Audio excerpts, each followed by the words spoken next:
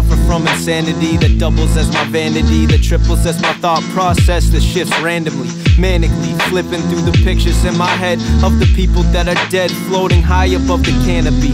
I'm up in the birch tree where the birds be. There's no need to reimburse me, cause the soil is dirt cheap for free. Maybe I'm non existent like Bigfoot. The only evidence of me is a ceiling with six soot. I sit and wait for the galaxy's input. Then what? It's too heavy, I don't know where to begin. But life is a trip and I'm getting closer to ego death. Dying in the desert, feeling the heat of an eagle's breath. Bulimic and parched, I lean with an arch, feebly marching to the promised land that's sweeter than starch. Continuously pushing with the pace of a ram. And people say that I'm crazy, but maybe I am. Fighting a spiritual battle, but shit, it ain't Vietnam.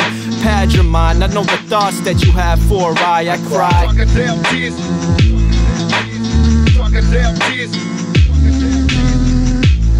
Bad for a slightly shaved crotch till she shakes it like Michael J. Fox. I beat it like Michael James Pop off top, pipe and flame hot relationship. Rocky like we used to run on beaches. Now she blew up like a hamster with the microwave block. Miss Michael Bay watch instruct you how to Douglas make that Tyson face stop. Out of space launch, who really the alien? When you don't know the land that you're damaging. My kind landed on this planet. Now people think I'm Shakespearean. Cause my experiences with the variants make the box look like a fucking aquarium. Flow colder than Nigerians in Siberia. Handling Liberians in planetariums. My dick like Hyperion, too big to fit a criteria. Quits like contrarian, so I stroke a pussy like a veterinarian. Staring as delirious as Sumerians, the disciplinarian. Serving cock meat sandwiches to octogenarian vegetarians. Sparing humanitarians like centurions. No, I ain't hey shit.